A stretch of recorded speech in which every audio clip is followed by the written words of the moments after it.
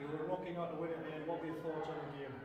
Well, our defence could have been a bit stronger and all that, but together as a team we worked really well. And it's like our first game like actually playing together, yeah. like different people, the girls putting in, all that. So overall it was a really good game.